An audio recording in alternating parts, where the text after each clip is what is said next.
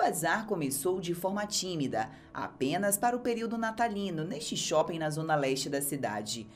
Com pouco mais de 10 expositoras, mas como a proposta deu tão certo, o proprietário do centro de compras decidiu ampliar o tempo de exposição das mulheres empreendedoras.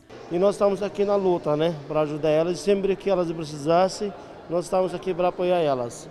Assim como ele, que começou com uma pequena banca de vendas, ele espera ajudar as mulheres a alcançar o sucesso profissional. Segundo a organizadora do Bazar, para 2021 será ampliado o número de expositoras. Está dando tão certo que nós já temos aqui a autorização do shopping para continuarmos todo o ano que vem, pelo, pelo menos pelos primeiros seis meses, trabalhando com essas mulheres para que elas tenham realmente renda, oportunidade de vender os seus produtos e assim ganhar a sua autonomia financeira.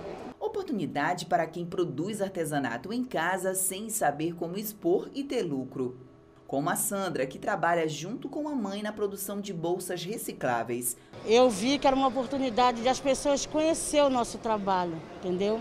De a gente, as pessoas saber que a gente tá, tem um trabalho, mas esse trabalho ainda não era reconhecido, ainda não era visto pela comunidade.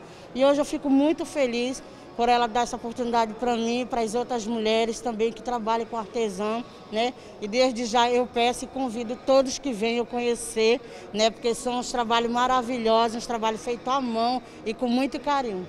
Os acessórios femininos e itens de decoração são os produtos que lideram na exposição, além de produtos naturais vindo do interior do estado. O bazar fica até março do ano que vem, no segundo piso do Shopping Cidade Leste, com um novo horário de meio-dia às 8 da noite, de segunda a sexta.